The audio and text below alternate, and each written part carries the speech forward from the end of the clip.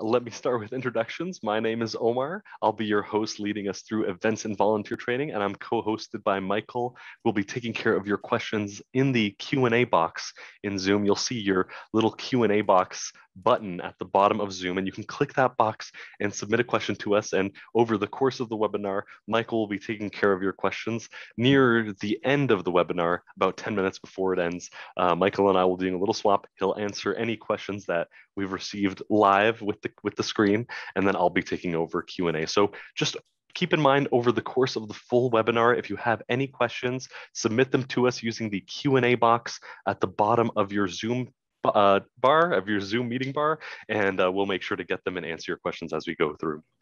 Okay, so I've started with introductions. Let me go over what topics we'll be covering for our webinar here.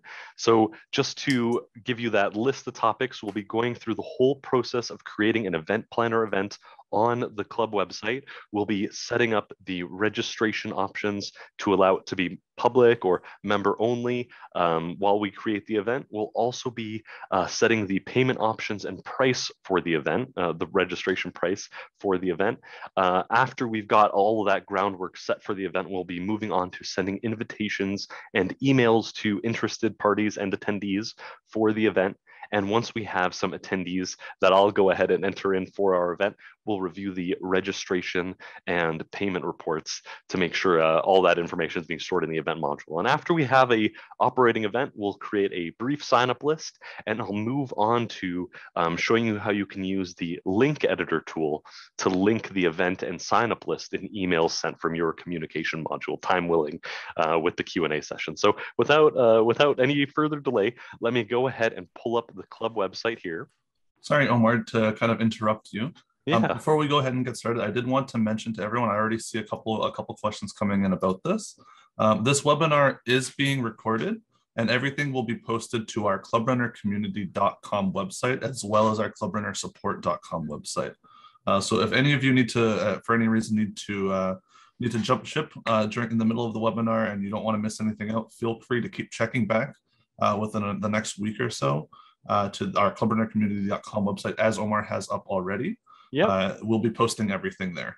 Yeah, and you'll and if you've pulled up clubrunnercommunity.com on your browsers, you'll find the videos once they're uploaded in the general group here. And I'm going to go ahead and just click it so you can see them. We've already started uploading some of the videos. So just again, clubrunnercommunity.com, and then in the general section, you'll see the changeover training recording links. Okay. Mm-hmm. Perfect. Thank you, Michael. Thank you no for interrupting me and sharing that note. No. So let's go go on back to the club website. So I'm going to pull that up here. I've actually already gone ahead and logged into the club website. And to do that, in the top right, you'll see a member login link. And once you click that, you'll be taken to your member login form where I've entered my user's login name and password and then click login. And now we're kicked back to the homepage. To enter the member area, I'm going to click the member area link in the top right of the homepage here. Okay, and that'll load up our club's member area. To access the events for your club website and database, you can access them by clicking the events module up here in the top blue bar.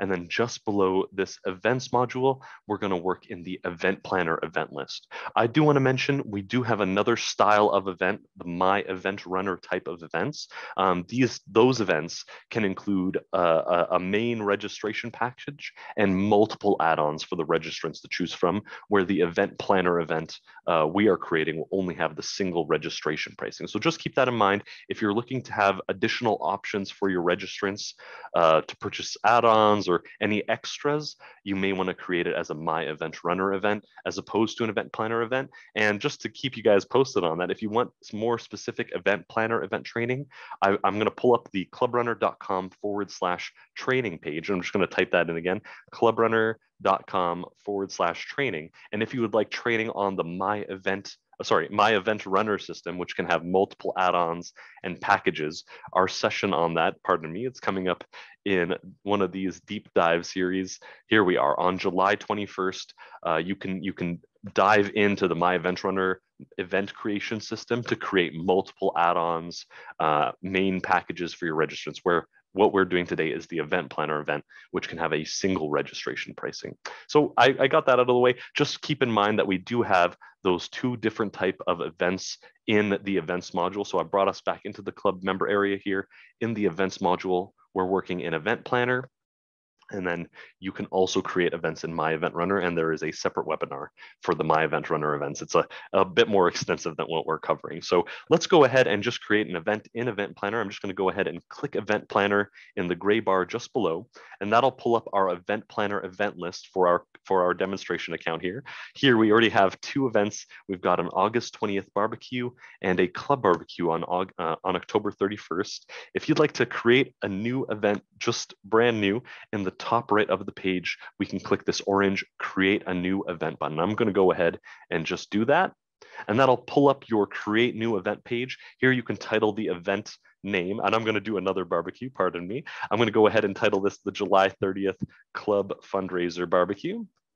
So we've got our event name for the event. Just below that, we have the event code. This code is used if your club has an online payment account uh, and a member or, or visitor registers for the event. This event code will appear in the online payment processing number. So just keep that in mind. If you have an online payment account uh, with your club's club runner website, for example, uh, Bambora for our clubs in Canada and uh, Paya, previously known as Sage for our clubs in America, this event code tags those payments to the online payment account. So that's the event code. Uh, I don't have a, a, a an operating online payment account to review and cross-reference, so I'm going to leave that field blank. And I guess I want to mention while I'm here, if you see any fields in orange, those fields are required, where any fields in gray, um, you do not necessarily have to set to create the event. So we're going to skip event code. Next, just below we have the status of the event. We're going to create it as an active event, but if you have some more changes you'd like to make to the event before making it active, you can just publish it in this draft status and then make more changes. And once you're ready, return to this event details page and then activate the event. So I'm going to set it as active just so we have it as active to start with. Below that, you have the event type dropdown where you can choose how the event is color coded to your events calendar, or sorry, your club's club website calendar. Let me show you what, what I mean here. We're going to choose fundraiser for the event type, but to get a visual on these event types, I'm going to pull up the home page in a new tab right here. And then on this homepage, our demonstration account homepage, I'm going to pull up the calendar. And once I pull up the calendar, we had selected fundraiser for our event. So we're expecting the event to appear with this light blue color, but you can also select the other event type, say club meeting, to have it appear with this color and sort of color code your event planner events on the club calendar. Okay. So if you find that your club doesn't have this calendar an option in your navigation menu, you can reach out to us at support at clubrunner.ca over email, and we can assist with helping you build the navigation menu to include this calendar's built-in page. Or you can also pull up the clubrunnersupport.com website, and then in the top right, click this blue contact us button, and you can send us an email where we can further assist you with building your club's navigation menu. Okay, I've talked enough about the event type and how it appears on the, cal the built-in calendar page and how you can get that in there. Uh, let's go back to the create new event page. We've set the event type. Next, let's set the event dates. So I've set the event start date to be July 30th. That's the day the event is taking place. So let's go ahead and set the start date and time to July 30th. And then to do that, I've used this little calendar icon and then select July 30th. And I can I can use this little calendar pop-up to navigate to more months using these uh, forward and back arrows, or uh, you can click the month and that'll pull up the months where you can just select the month and then choose the date from that month. You can also type it in, but it must match this format. So it's probably easier just to use this mini calendar icon and then set the date. You can also set a time, a specific start and end time for the event by using the field just to the right of it. To use this field, you can use these these uh, uh, cardinal arrows to set the time. So I'm going to go ahead and press the up arrow and it'll plop in 3 p.m., 3.09 p.m. for me. I'm, I like it at 3. Let's go ahead and change this minute field. I'm just going to click minutes and that'll highlight the field. And I'm going to use this down arrow to change it to 3 o'clock flat. Okay, so that's our start time at 3 at 3 p.m. on July 30th. It's going to start. Let's set the end time to 6 p.m. And to do that, I'm actually just going to type it in in this case. I'm going to type in 06 and it's already filled in 6 p.m. for me. And then I've tabbed into the minute field. I'm going to type in 00 and PM is good. So this event's about three hours, uh, July 30th. We've got our times in. Next, let's move on to the description field. So this description will appear on the events registration page as a little text box where you can include uh, information about the event. So I'm gonna go ahead and just type in uh, event registration, will be $20.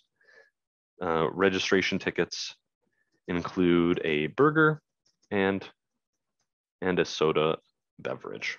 Okay, and I'm going to leave my description as that. You can enter as much detail as you'd like about the event, such as who's attending, um, if there's any important guests, uh, prices like I have, or any other uh, details you'd like about the event, you can throw those in your description and they will appear on the event planner event registration page.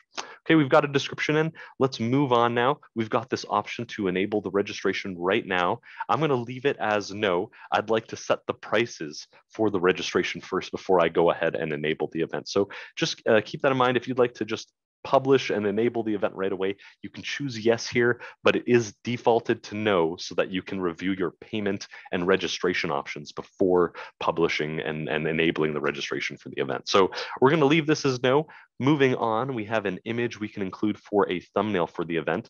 To, to set a thumbnail, I'm going to click this choose file line. So I'm going to go ahead and click this button, and that'll pull up the folder, the folder explorer, pardon me, on my device where I've pulled up my demonstration folder here. And here I have three barbecue images. I'm going to choose this corn on the cob barbe uh, barbecue image. And to do that, I'm just going to double click it and it will add the image file to the image for the event. So that's set. Moving on, we're going to set the event chair. By default, it is set to the account that I'm already logged into here. So I'm logged into Charles Hampton, and he has the email address omar at sendgrid.example.net. You can set up a new event chair just by clicking this event chair dropdown and then choosing the member from the club to be the new event chair. So I'm just going to show it as an example here. I'm going to choose Ni Quang and that'll automatically fill in Ni's email address as well as phone number information. Um, and, and that's how you can set your event share. Okay, I'm gonna return it to Charles Hampton. There we are, my demonstration account. Below the event share email and phone information, you can include the location information for the event. And I wanna mention, if you have a full and complete uh, uh, address for your event planner event, you will find that it appears on um, in a in a Google map on the event registration page. So let me show you what I mean. I'm going to use the Club Runner office address as um, as our uh, address for the event. So bear with me here as I just throw in some details. There we are. So I've set the location. It's just the location and address line one are just going to be the same. Uh, the location can tend to just be a name. So you can throw in the name of the place, but the address line one is the actual address of the place. So I've thrown in the address information. Uh, one other uh, uh um, mention I'd like to make is this latitude and longitude field. If you know these values or have already uh, pulled them from Google Maps, you can enter these latitude and longitude values for your event, and that'll also help the system with placing where the event is on that map preview for the event. So I've got the information in there to display that map, and once I show you guys the event registration page on the public website, we can use it to uh, review the map details and register a member, provided we have the uh, uh, register member details on. So let's let's carry on. We've got the address information in. Finally, we have some of these show options. I'm just going to quickly go through them. We can show the event in the event homepage. So if your club is using the upcoming events widget, it'll appear on that widget. Let me show you what I mean. In that same tab, I pulled up the calendar. I'm going to go back to the homepage. And if your club has this club events widget, that's where this show in events events, sorry, show on homepage uh, show setting is is affecting here. It's it's, it's going to display it in this club events uh, uh, events widget. So that's the show event in homepage. Next, we have the show event in calendar setting. And this setting is, again, back in that same uh, events and calendar built-in page. So if we have the event to show event in calendar, it'll appear on your club's built-in calendar page. And I've done that for our uh, for my previous demonstration event planner event here, post brief barbecue, August 20th. So, so we will go ahead and publish that to the calendar and we will also review here to make sure that it appears on July 30th once we have the event saved. Okay, so that's the show event in calendar. Next is the show in events list. So the events list is part of your club's calendar page. If I go back to that built-in calendar page, I can click this list view to view the upcoming events at the club in a list format. And that's what that show in events list is controlling is, is if the event should be listed here in this events list page. Okay, returning to the event, we also have the show event in bulletin option. And this works basically the same as that club events widget I showed on the homepage, if your bulletin has that upcoming events widget, it'll post this event into that upcoming events widget for the bulletins, similar to the show event in homepage and how the event appears in the uh, club events widget on the homepage. The same widget that we have for the homepage, there's one similar to the bulletins. Okay, let's move on from these show options. Below that, we have a display social media share bar option, and this social media share bar will appear just below the event planner event where any visitor or member can click the Facebook, uh, Pinterest, LinkedIn icon to share the event on their page on that social media platform. Okay, that's the display social media share bar. You also have this show event in district calendar. So if your club account is entered into your district's club runner account, you can opt, pardon me, you can opt to show the event on the district calendar in addition to your club calendar. And finally, we have this show map option, which is what I was referring to with these address details. So long as these address details are, in, are complete and include a postal code, you can use this show map checkbox to show a Google map using this address information on the event page to show registrants where the event is occurring okay, we've set our event details, we've got the address in, we've set a, a description, we've even thrown in an image file um, and our dates, it's all set. Let's go ahead and save the event. And to do that, I'm gonna go ahead and scroll all the way to the bottom of this create event page and click this orange save button. Okay, and that'll save the event to the club website. So we've saved it. We've even got our, uh, our barbecue image here. Uh, next, let's move on to enabling the registration and choosing how we'd like to uh, get members to register. So right after we save the event, all of our event details will be, will be saved in the event details slash edit details page. Let me quickly show you that. I'm gonna click edit details here and that'll pull up the same page where we had set all of this information for the event. So I'm going to go ahead and go back and uh, uh, moving on, I, I, guess I should mention this though, you can actually include links and download files for your event by using these two blue buttons just to the right of the event. Let me show you how these work. Let's say we'd like to include a search engine, google.com as a link for our event. We can click this blue edit links button and that'll open up a page to include event links on the event registration page. To add a link, I'm going to click this orange add link button, and I'm going to have it appear with Google, Google our event with an exclamation mark, and then set it to direct users to google.com. Oops. So that's one link we're going to have available for the event. You can add other links. Say if you're if you have more event details on another website, you can you can use that uh, edit links for your event to include that link. So I'm gonna I'm gonna leave this for now. Let's get one download file in, and then we'll move on to the registration. And to do a download file, I'm gonna click this Edit Download Files button right on the right side of the page here. A, a, similar page will open where instead of event links, we see event download files. And to add a download file, I'm going to use an or the orange add download file button. Uh, up at the top, I do want to mention, it mentions that these download files are, are always public and that once a visitor goes to your website, they will be able to uh, view and download the information. So just keep that in mind. Download files uploaded to the club website and events are always public so just keep that in mind. If you're looking to upload private documents, we suggest uploading them into your organization module documents tab where you can set an access level to require login. But for events, it's always public. So just keep that in mind. I'm going to throw in an image as one of our download files. And to do that, I've clicked this orange add download file button. It'll, it'll ask me to title the download file, I'm just going to title it barbecue image.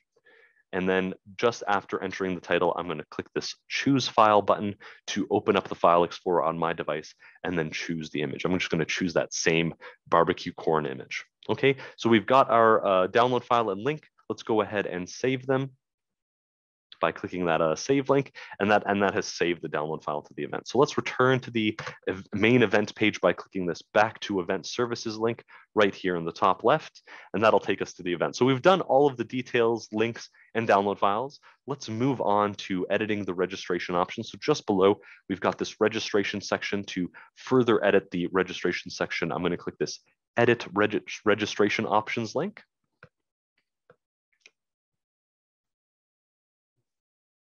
Okay, and that's pulled up the options for our event by uh, by default. Once you open up the event registration options, the page will prompt you to open the event for registration, basically setting it to active and allowing people to register right here. If you'd like to keep the event closed, uncheck this checkbox and then you can make further edits. But I'd like to publish it after we get our registration options in. So let's uh, keep this checked and carry on. Uh, so just below that, we have the date range for which we're accepting registrations for the event. By default, the system will automatically uh, begin the start date for today's date, uh, July 19th, and it's set it to uh, midnight.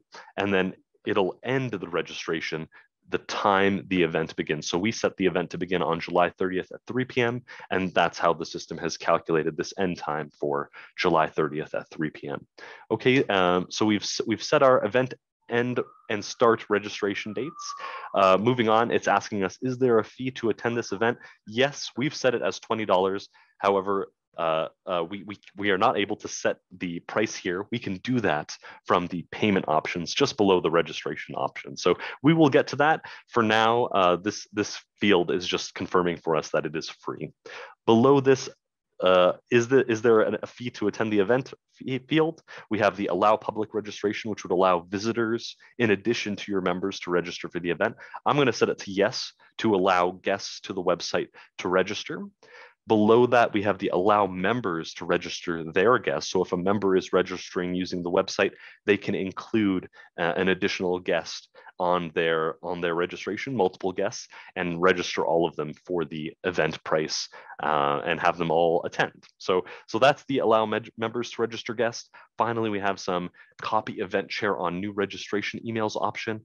It's, it, it does exactly what it says for the event share we've set Charles Hampton, he will receive an email uh, every time a registration comes in, so long as this uh, checkbox is checked. And we're going to go ahead and set that. And finally, you have this enable comments on registration page, which would allow any member to log into the club website, open up that event planner event registration page and type in a comment.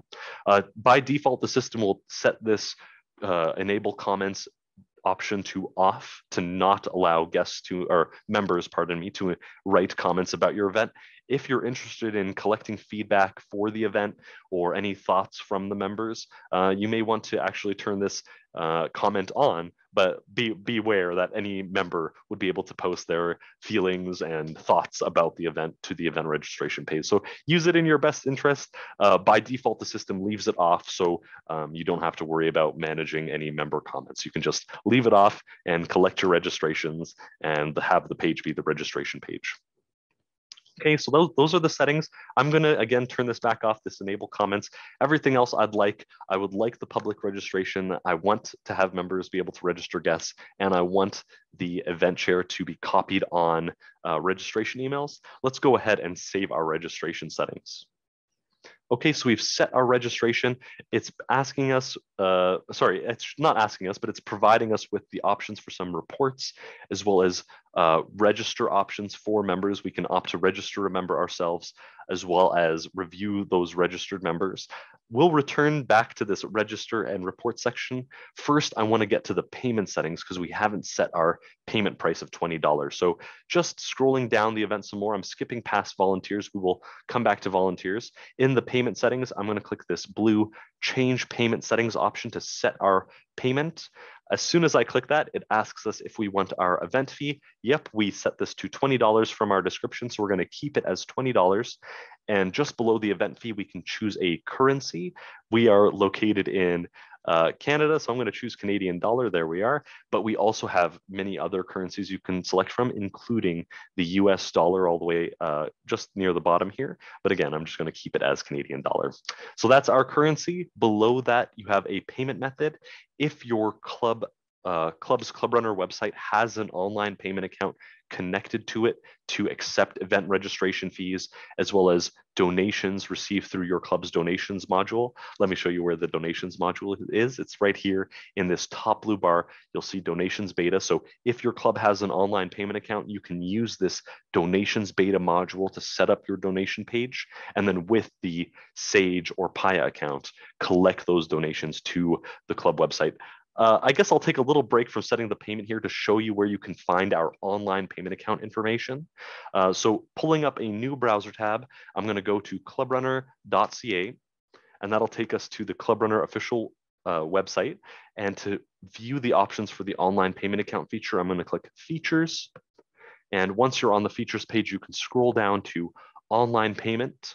And depending on where your club is located, you would be able to sign up with a different preferred payment provider. So for our clubs in Canada, if I click Canada, you would have the option to sign up for a online payment account with Bambora, and Bambora would process those event registrations, donations, and invoices sent from the dues and billing module uh, using your club website with integrated reporting. So just keep that in mind uh, if you're interested in learning about uh, more about an online payment account, uh, clubrunner.ca, and then you go to features, online payments, and then you can review for the country that you guys are in to sign up for that account if you're interested in collecting um, uh, online payments for event registration, donations, and um, uh, pardon me, and membership invoices from the dues and billing module.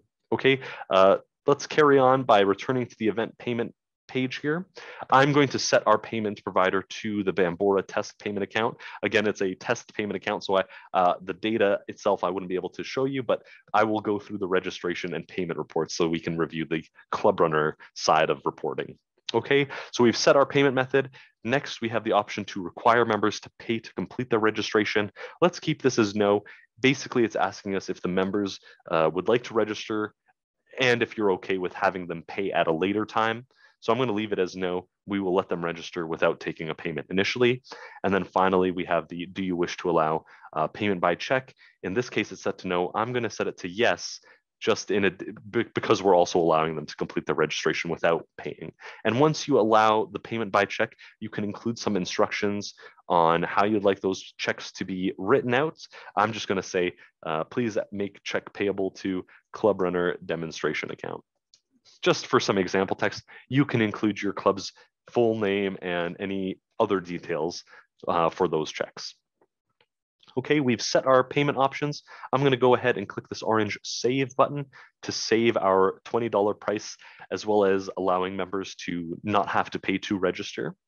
So we've set our payment settings. If I scroll down to the payment settings, we can see it's all set. Let's return to this registration section. I'm gonna go ahead and just get get some members registered into the event. And to do that, I'm clicking the, let me show you again here, this register members link in the register section. So I'm gonna go ahead and click register members and that'll pull up the member list. If you, if while on this page, you would like to include other members from other clubs within your district, you can check this include other members checkbox, and that'll include uh, pardon me, I've, I've actually been mistaken. This include other members is your other users. So if you have any members stored as other user records in your database, you can opt to include them by clicking this include other members checkbox. There's a separate option to register uh, members from other clubs within your district. And I will show you that. So we've got our including other users option. Let's go ahead and just register Ford John here. I'm going to do that by clicking the register link and then clicking OK on the browser prompt. It'll tell me that John owes $20 for their uh, event registration. We can just mark them as paid by clicking this blue pay link. And I've done that. So now it'll prompt me to save John's payment here. Uh, I'm good with the information, so let's click the orange record payment. You also have some options to specify how they're paying. Either uh, they would like to pay by credit card, in which case you can click this button and process the credit card payment, or this pay by check option where you can log the, the check payment. But we're gonna be sated with uh, just clicking that pay link, and I'm gonna record it by clicking this orange record payment button. Okay, and it's prompting me to save it with a comment. Let's go ahead and just add a comment payment for John F and then save the payment. Okay, and that's and that's logged John's payment. Let's go ahead, go back, and I'm going to show you how you can register members of other clubs. Um, and to do that, I'm back on the event, the events main page, and to register a member from another club, I'm going to click this register members from other clubs link okay? And that'll automatically pull up this page to select which club you're registering members from. You, you would use the select club drop down and all of the clubs within your district would appear here. I'm gonna open up our sister demonstration account, Purple Metro. We're currently in Greentown. And once I have that Purple Metro, I'm gonna click this blue show club registrations and nobody from Purple Metro has registered, let's go ahead and register multiple of them. And to do that, I'm going to check this checkbox to the left of their name and then click the register all selected button.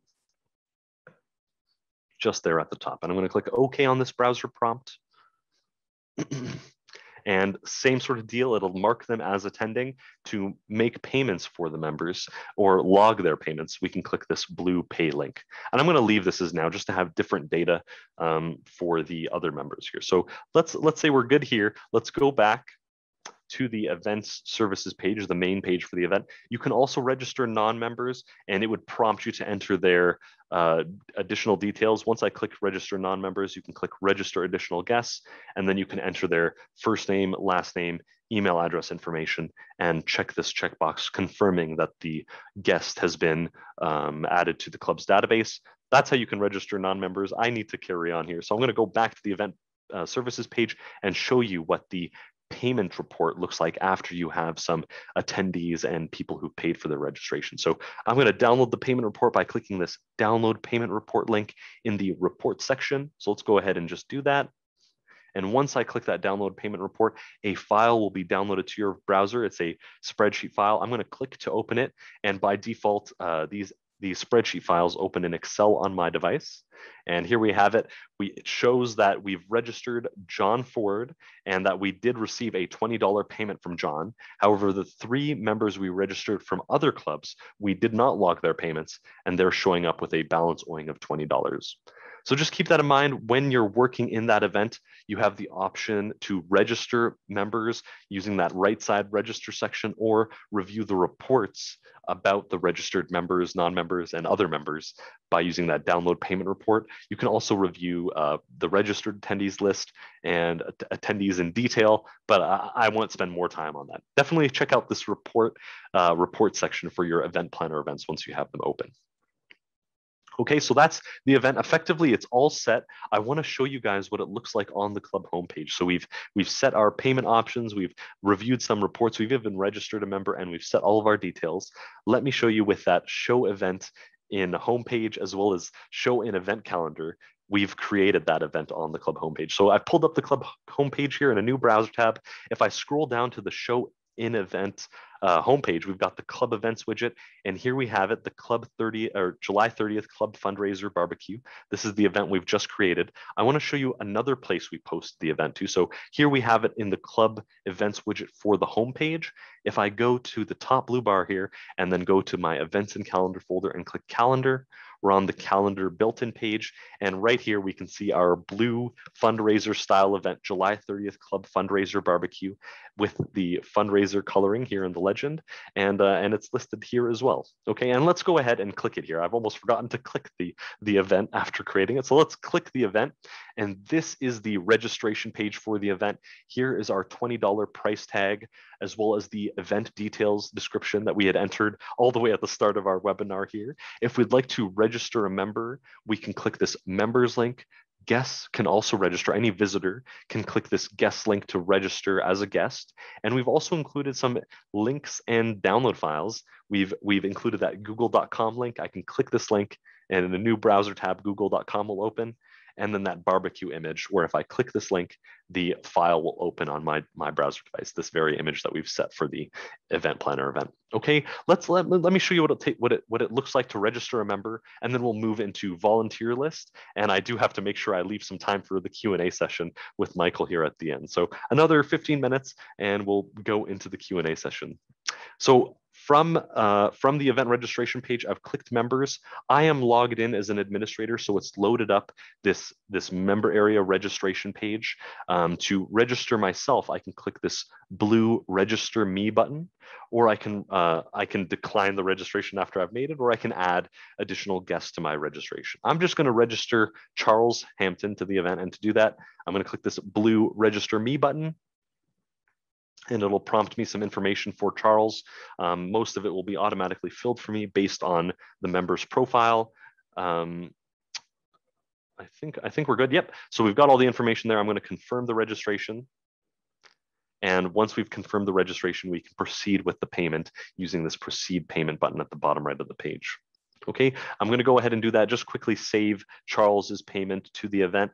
Uh, it's brought me here where again, I have those options on choosing to pay by credit card, by check, or just recording the payment using the system. I'm just gonna go ahead and use this record payment button. And we're gonna say he's paid by cash instead with this payment type dropdown and say uh, Charles has paid for the event and then save Charles's registration for the event. So that's how you can use this members registration button. Let me quickly show you what it looks like for a guest. Um, and to do that, I'm just gonna click this guest link. And as soon as I click that guest option, uh, this guest form will appear where the guests can enter their first name, last name, and any other information, and then save their registration. I, I don't want to spend too much more time on this because I need to move into setting an, a volunteer list for your event. So just be aware if you set the allow guests to register, um, this this guest button, I'm just going to go back, this guest button right here will be available for guests to register for the event.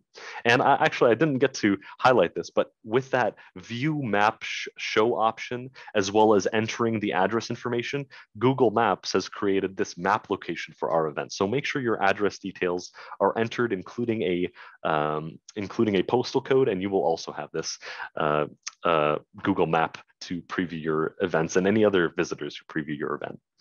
So let's go back into the event uh, member area. We're going to create a volunteer sign up list, which will appear in addition to these online registration options. So I'm just going to do it the old fashioned way. I'm not going to switch all the way back into this tab. Let's get to the member area from here. I'm going to click member area up here in the top right. Back in the administration page, I'm going to open up the events module from this top blue bar and then click event planner in the gray bar just below. Okay, so this is our events list. Here we see the event we've just created together.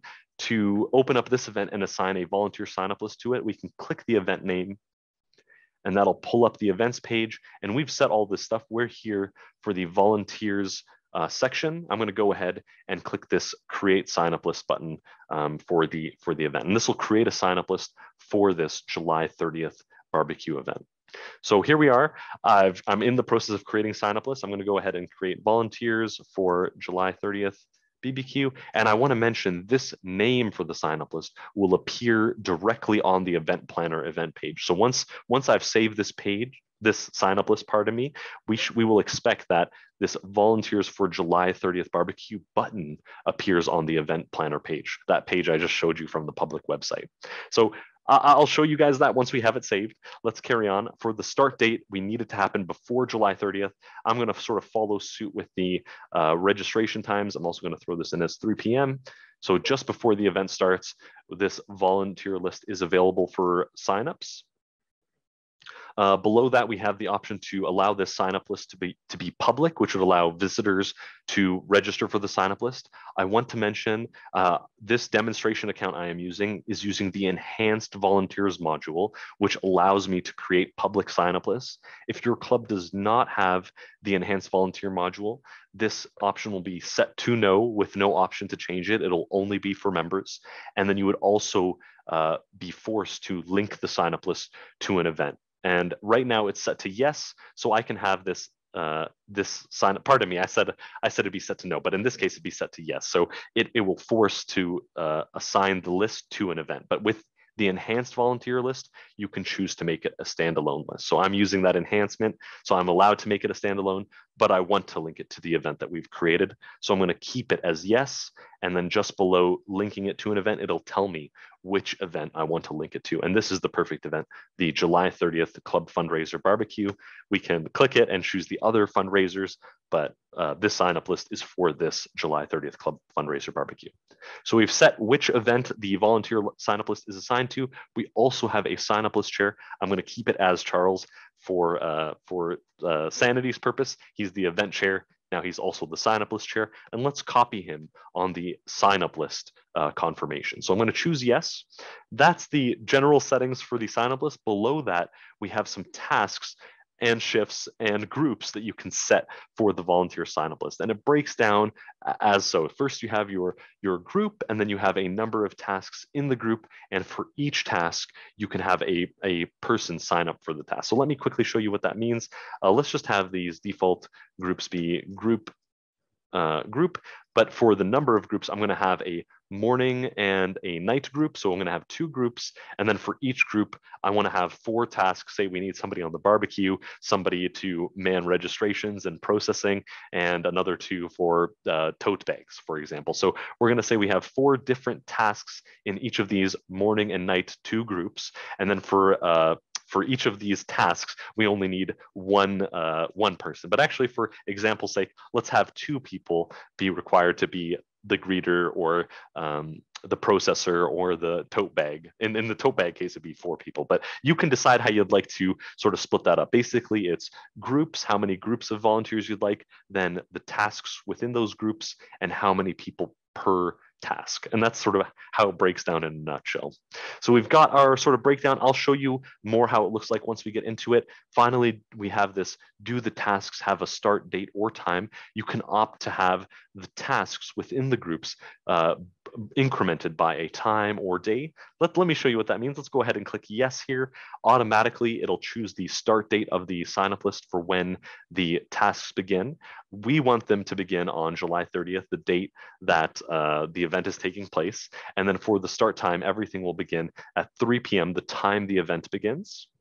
And for an end time, I'm going to leave it empty. I'm going to have the system take care of the end time for me. So I've set a start date and start time. How would we like to increment the tasks? I'm going to choose a time because it's a single date event, but you can choose date to make it a multi-day volunteer sign-up list for your multi-day event if you have if you have that sort of multi-day event in mind. So let's choose time.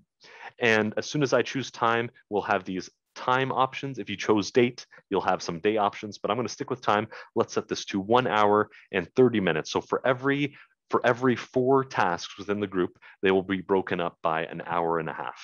So we're done with saving the sign up list. Let's go ahead and create the sign up list. And I've done that by clicking the orange create sign up list button in the bottom right of the sign up list. And that'll take us to the manage tasks for volunteers sign up list uh, page. And let me show you how you can navigate back to this page without using the event volunteer method that we had used. So if you're in your club administration area, in the top blue bar, we can click volunteers and then view sign up lists in the gray bar below, and that'll pull up all of the active sign up lists for your club website. Here I have the volunteers for July 30th barbecue sign up list. And to open and review the signups for the list, I can just click the volunteer sign up list name, and that'll pull up the uh, the the list itself. And I think I've made a, a little bit, this made this a little bit more confusing by naming my uh, shifts as groups. So let's fix that. From this manage task page, I'm gonna edit just some of the names of the groups, these primary groups, and then uh, and then the actual groups here. So let me let me make this a little more easier to read. And to do that, I'm gonna click this blue edit link on the right side of the page, and we're gonna call this morning group and save that. And then for group two, we're going to edit it to be the, the night group. Just like the, the, I guess I should say evening group. That's probably more fitting, evening group. Okay, and there we have it. We have our morning group and evening group. And then for each of the, the subgroups within these groups, we can click the group name and that'll show us the two people per task within within the group. So we had, uh, just to reiterate, we had those two primary groups and then four tasks within each group and then two sign up lists or two signups for each task. And that's what we're looking at here. We've got our two primary groups, the morning group and the evening group. And then we have the four tasks aptly titled group pardon me, um, that you can that that collect the two people, two volunteers for each. And to sign up somebody, if uh, if you're signed in as a club administrator, you can just click that group like I'll show you from here. So from the uh, events, or sorry, from the volunteer sign up page, I can click the group.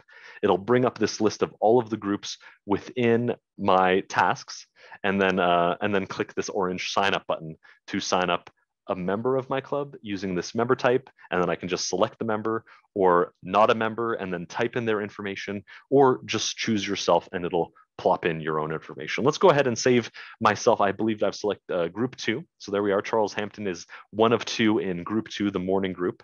And let's go ahead and throw in another member. I'm just gonna choose one at random here, um, John Ford, and save that.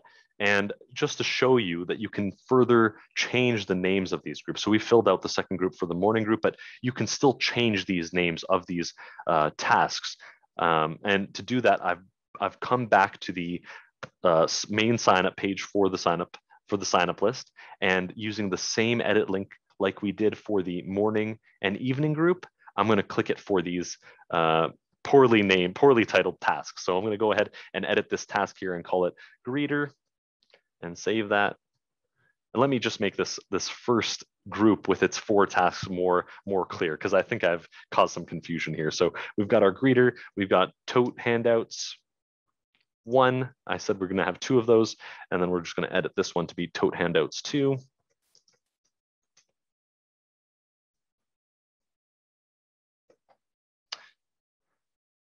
And finally, we also said we'd like somebody to do the actual processing for the attendee. So um, attendee processing, just for just for example's sake. And honestly, if I was doing this, um, I'd probably nix the start and end time and just leave a morning group with the tote handouts one and two groups, greeter group, and attendee processing group, and then have the second evening group be the same sort of format. So I've done that all for our morning group here. We've got individual task names, the tote handouts, the greeters, the tote handouts too, and attendee processing.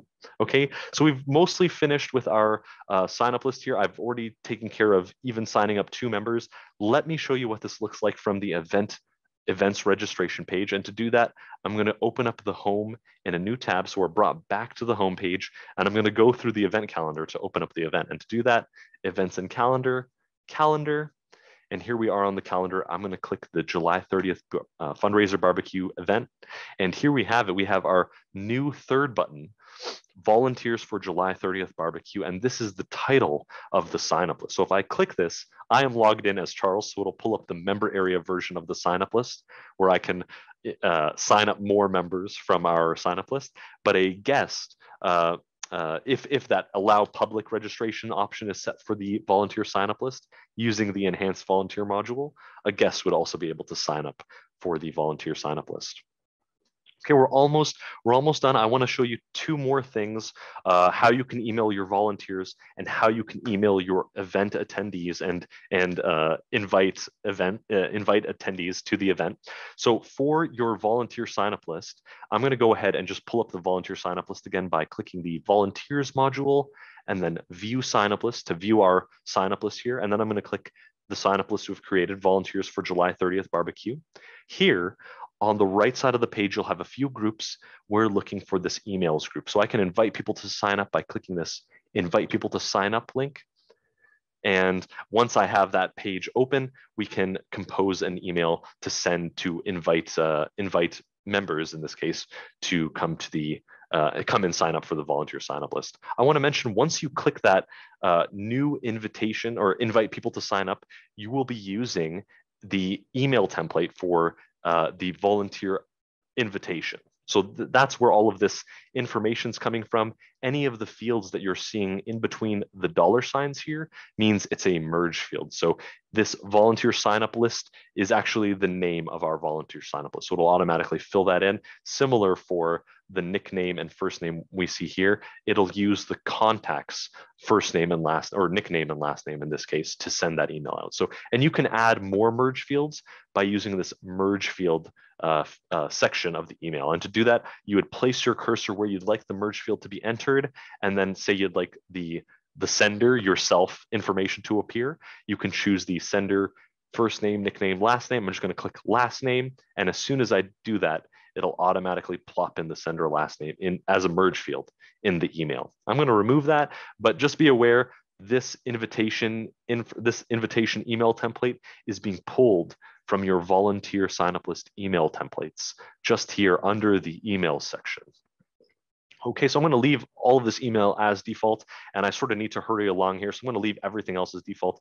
I'm going to send it um, right now, I need to I need to select some recipients for the message here. So to do that in step one, I'm just going to check the active and honoraries group, and that'll check all these subgroups. We can even uncheck a individual by clicking this expand link and removing, say, Judith. We're just going to do that and send off this email because I want to move along into the event registrations and hopefully show you these email templates too. So We've sent, yep, we've sent the email. It is queued for sending. We can return to this page to review its statistics at another point. Right now, I just want to show you the email template. So let's go ahead and click email templates. In the left-hand link here, here we see there are a few templates. Um, the one we're looking for. As a matter of fact, these are all system templates. So these are all handled by the system.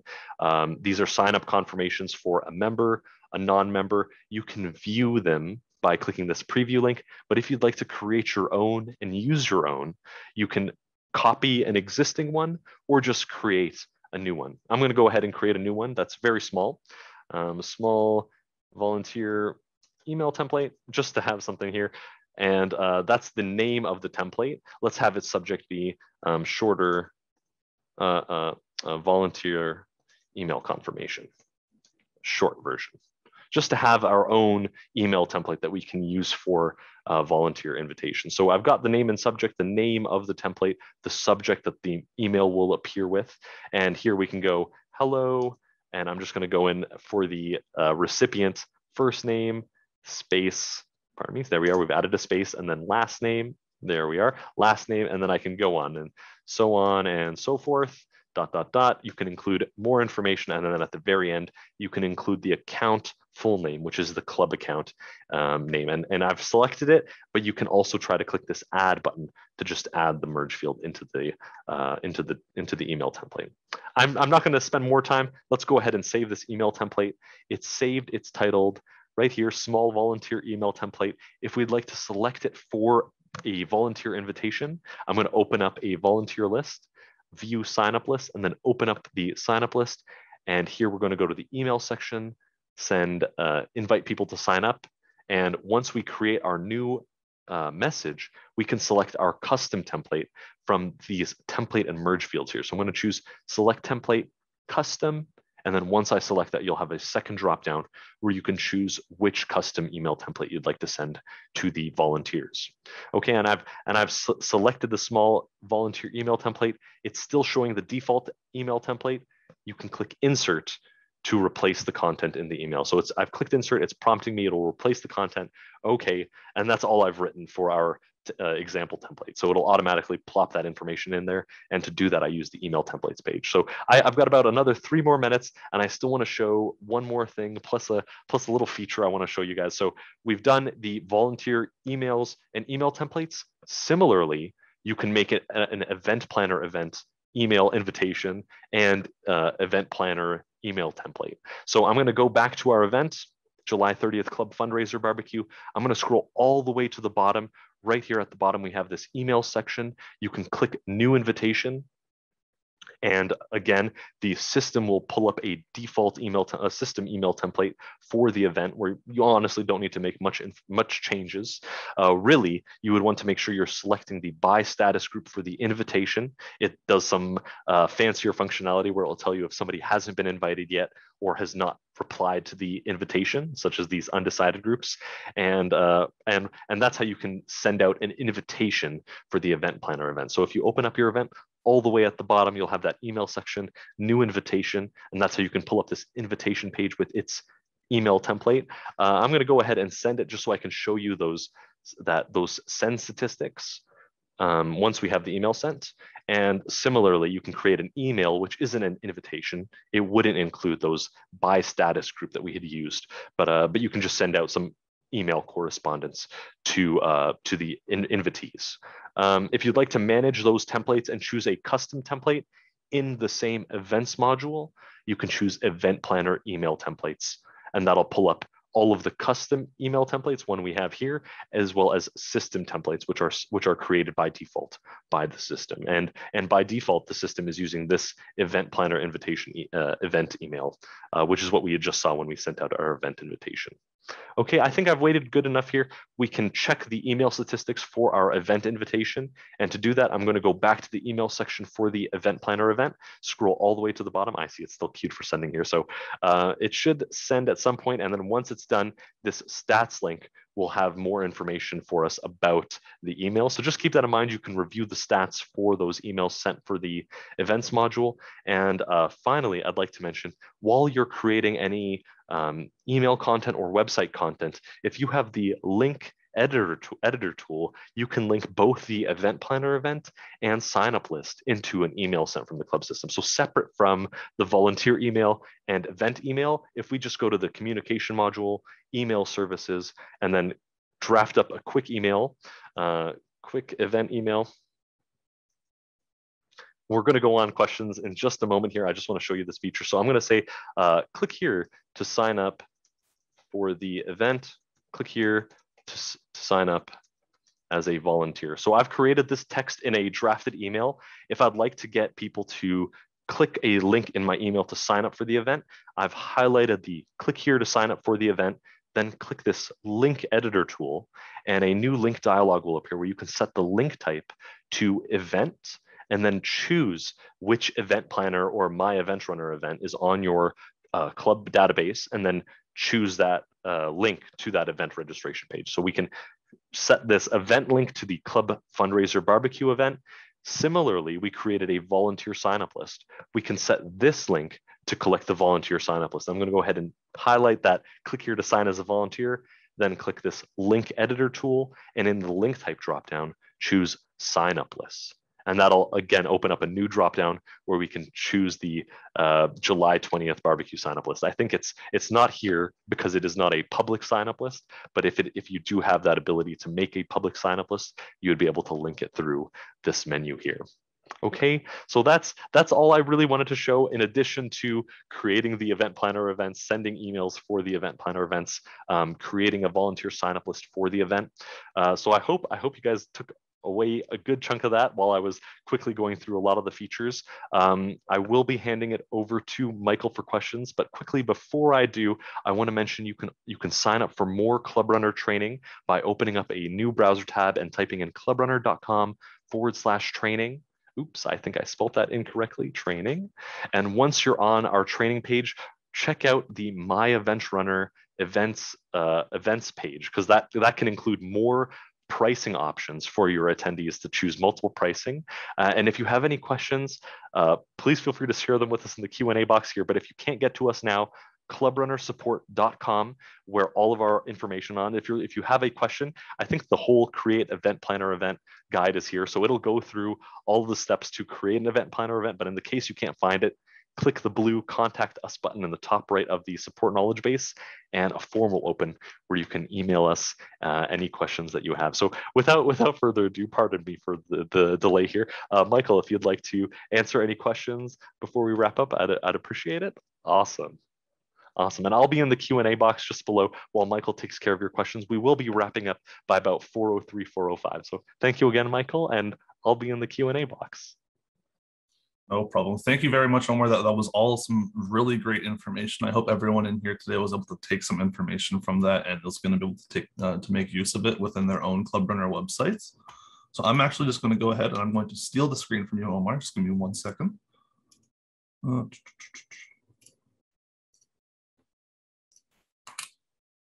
oops. There we go. So I now have my screen up. And I'm currently logged into our the same website that, that Omar was, the Rotary Club of Greentown. Uh, so this is this is one of our own our own testing websites, uh, just to make you aware of that. Um, so during the webinar, a lot of great questions were asked in the Q&A session. There are still some going, or still some coming in. Uh, Omar is going through there currently and answering out any of the ones that um, that, that may have been missed. Um, if for any reason your, your questions weren't answered, uh, feel free to reach out to our Club Runner support team. Uh, you can access this at our support team, our support website. Just give me one second. Things are, there we go. So if you have any questions and we don't get to it today, feel free to go to our clubrunnersupport.com website. And then the top right corner, you can click on contact us. And from here, you'll be able to send in a ticket um, and it'll either come to either myself or one of our other, one of, uh, or Omar or one of our other support colleagues, and we'll be able to answer any questions that you have. So I did want to cover a couple of different things, uh, a couple of different questions that were asked during the webinar, uh, just to make sure that all of this information is out there for you guys. Um, first off, we mentioned this towards the start of the webinar. Um, this, this, the, this webinar has been recorded, uh, and if any of you have missed part of it or you had to jump out at any point, you can feel free to go to our clubrunnercommunity.com website. And from here, you can go to the general tab. And at the very top, you'll find our changeover training July 2021 video links. Uh, and this is where we will be posting all of the links to our recorded sessions uh, in the coming weeks. Uh, just so you guys know, we are planning on having uh, each webinar posted here within one to two weeks after the original date. Uh, so if you want to check out this webinar, feel free to check back in one to two weeks uh, and it should be listed here. Next, another question that I saw a couple times um, it was based on how about accessing the modules themselves.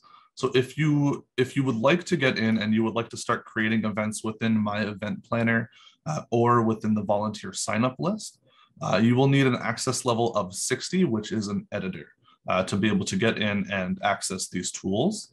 Um, if you did have any, um, if you were wondering about what the other, all of the different access levels are, again, feel free to go to our clubrunnersupport.com website. And in the search bar, you can search what access levels or what levels access, what access levels are there in Clubrunner. And you'll it'll be you'll be brought to a nice article where we'll explain each every single one of these access levels and what each one will have access to. Uh, I saw that I saw another question that came up a few times in regards to the time zone that was used within Event Planner or the volunteer sign-up lists. Uh, so the, these two systems, they will uh, take into consideration your club's local time zone that has been set for the club. Uh, if for any reason you guys are seeing that this doesn't seem to be the case or it's not really matching up quite nicely, again, feel free to reach out to our support team. We'll be able to take a look uh, and get anything fixed up for you.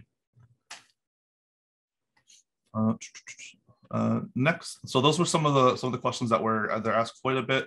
Um, so I, I did want to go over them very uh, very briefly.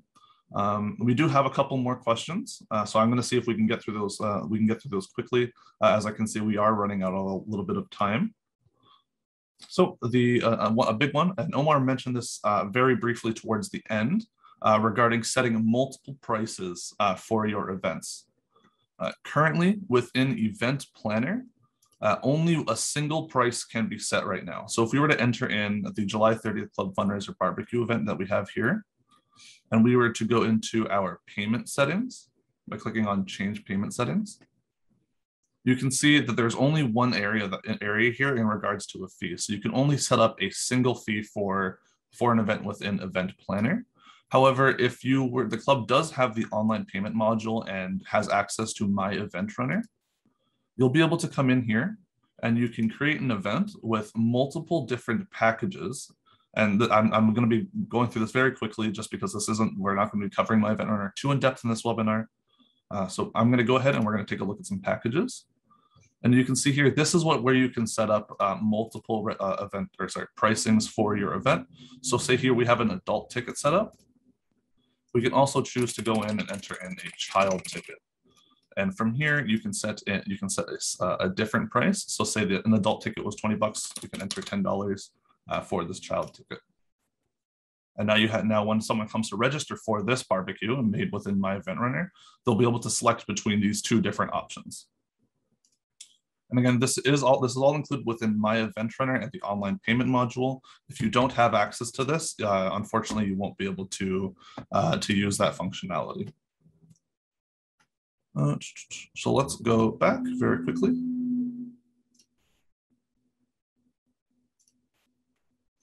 Oh, there we go. Give me one second. Navigate back. There we go. Uh, I also saw a couple of different questions regarding the event types. Uh, so in, in this case, uh, some of you may like want to set an event type for things like recurring calendar items, uh, which we can, we'll show you very quickly. Uh, these will let you set up recurring items on your club's calendar to appear uh, every so often or however, however often you would like. For example, um, every every week or every two weeks or every other week and things like that. You can set that all up in here and it'll automatically be inputted into your club's calendar. Currently, these do not support uh, event types at this time. This, the event types are only available within Event Planner and My Event Runner uh, currently. Uh, and this was covered by Omar, but I'm going to very quickly go over how you can go about selecting a club type. So within Event Planner, we're going to go ahead and we're going to select our event. So let's go to July 30th Club Fundraiser Barbecue, click Open. And from here, we can go ahead and click on the Edit Details button. And this will bring us to the page where we can start entering in any of the information about our event. Uh, so we can enter in the event name, the dates and times, all of that information, any descriptions and images, event chairs, all of that stuff. Uh, to select the event type, right underneath the event name and status uh, options, you'll find event type. And from here, you can select between whichever event types that are currently available for the club. Uh, and this will let you change that for uh, your individual events. Now, uh, what if you what if none of these event types really map quite matched up to what you were looking for? You can actually go ahead and you can create custom event types. So I'm gonna I'm gonna show you guys how to how you can do that very very quickly. So we're gonna go and while we're logged into our member area in the top navigation bar, just like we did before, we're gonna click on events, and then instead of clicking event planner this time, we're gonna go ahead and click on event types. This should be the second option right next to event planner. And this will bring us to a new page where we can see manage event types. And we don't have any listed here currently, but this is where any custom event types will be listed. So from here, we can go ahead and click on create new type. And you can see a new, a new line appeared within this little listing here. I'm actually gonna zoom in so you can see a little bit bigger. Uh, from here, you can select the, the, the, the type of event type. So this will be based on some of the existing options already. Uh, so this will be based, or this will take the color that is used to represent this event or this event type, and we'll use it for your custom event. So let's actually go to the home page very quickly. where did it go? That's one, two, three. And we're gonna go to our calendar. And we can see at the bottom, we have our event types and all of their different colors. So we can, so currently we have a, um, we have all of these different options and we have all of these different colors available to use. So if we were to go over here, we can select one of these already existing event types, and that will use the color associated with it already. So as we have fundraiser selected, uh, this will make our custom event type use this nice cyan blue color. Uh, if we were to select, uh, say, deadline, that will use the red color instead. So once you once you've selected the color or the event type that you would like to use as the base for your custom event type, all you have to do is go ahead and type in um, the name of your new event type. So in this case, let's go ahead and select custom event type just for the sake of the example, but you can put in just about whatever you would like here. And once you're happy with that, go ahead and click on the add action. And as you can see, it has now been added to our list and you can see that the red uh, event type color uh, has been selected for this custom event type. Now, if we were to go back to Event Planner and open up one of our events and then click on Edit Details once again, we'll be able to see our custom event type uh, option that's now listed here. And we'll be able to select that and it will appear on our club's calendar uh, with, the, with the color that we've selected. So let's go ahead and save that. And that's what, what was the date here? July 30th. So we're going to refresh the page. And as you can see, the, the, um, the calendar item has been updated to that red color since we did change that event type.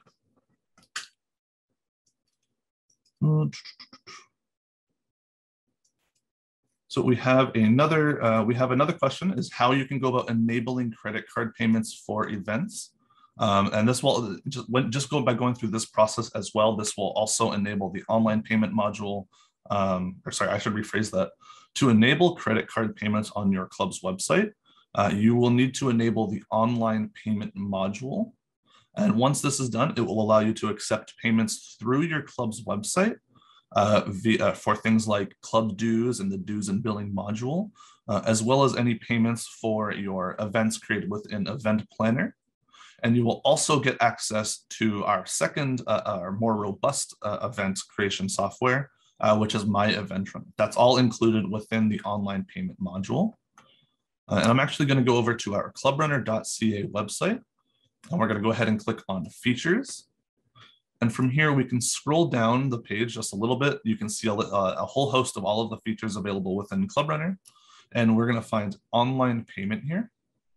If we click on this page, uh, you'll be able to find all of the information regarding the online payment module and what you can do to uh, what you can do to get this set up. So in the case uh, for clubs listed within uh, Canada or the US, you can feel free, or any of these other countries, uh, feel free to click on their, the respective button here, and you'll be able to find specific information for your country. So in this case, we're going to go ahead and we're going to just go click on the US just for the sake of example. So in this case, in order to enable the online payment module, you will need to register with one of ClubRunner's partner payment vendors. Uh, for clubs located within the United States, that will be with Paya, um, with Paya or formerly Sage Payment Solutions. Uh, you'll be able to come to this page and you'll be able to review all of the information about Paya, um, any pricing that will come on their end. So there is some pricing in regards to enabling the online payment module, uh, but this is, this is all on the payment vendor side. There's no additional fees with Club Runner. And you'll also be able to download some more information about the module, uh, as well as any application forms if they are necessary. Uh, once your account has been set up, uh, this will it'll all be connected with ClubRunner, and you'll be and our team will be able to enable access to my event or my event runner um, and any of the other online payment features as well for your club. And then our final question, since we do have we are running out we, or we are running out of time, and the webinar uh, will be ending shortly. Um, is there a limit to the number of guests and or volunteers within my event, or sorry, within event planner uh, or the volunteer sign up list? So currently uh, in event planner, there is no limit to how many people can register. Uh, though if the club does choose to limit it to club members, it'll, um, it'll, it'll be restricted to club members only. Though if there is club, uh, if the club does, does decide to make it a public event, uh, just about anyone will be able to come in and register. Uh, for the, the amount of volunteers, uh, there is a little, little bit of a limit uh, involved in that case. And I'm going to go ahead and I can show you these details as well. We're going to go ahead and click on features once again. And this time we're going to go, we're going to go to the volunteers option. And if we scroll down the page, you can see a quick little uh, information about uh, basic volunteer module versus the enhanced version of the volunteer module. And if you want, you can go ahead and request a seven day free trial by clicking on the link here. Uh, and this will let you fill in some information uh, to get that set up for your account. And if we scroll down this list of uh, list of features, you can see the differences between uh, the basic version and the enhanced version. Uh, but if you want to take a look at the limits, the base version has a maximum number of active sign-up lists of five, while, uh, while it is limited to the amount of groups that you can create as well. So you can, with the basic version, uh, you that will be that will be limited to 10 groups with 10 tasks in the group. And then there with in per tasks, that is with a maximum of 10 people in a singular task. Uh, so this is so there are some uh, restrictions uh, this will eventually, with all of this calculated, uh, the maximum number of volunteers you can have is 250, as you can see here. And if the club does decide to upgrade to the enhanced version of the volunteer module, uh, these limits will be upgraded to 25 uh, each, with a maximum number of volunteers of being 2,500. Uh, if there's any, if, if the club does decide to, to enable the enhanced version, and you do need to have a, a higher number than that, feel free to reach out to us. We'll, uh, we'll, we'll be able to discuss with our team to see what can be done for the club.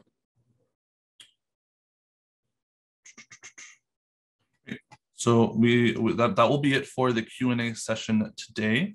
Again, if you guys have any other questions that we weren't able to get to, feel free to go to our clubrunnersupport.com website and you'll be able to either use any of the hundreds of articles that we have listed here to, uh, to find the answer for your question. Or if you're not able to find anything, feel free to click on the contact us button, uh, submit us a ticket, and we'll be glad to answer, uh, answer your email. So thank you everyone for joining us today. I hope all of this information was extremely helpful for you. Uh, there was a lot of great questions and a lot of a lot of information that was shared. Uh, so and thank you guys for joining once again. Uh, take care, everyone.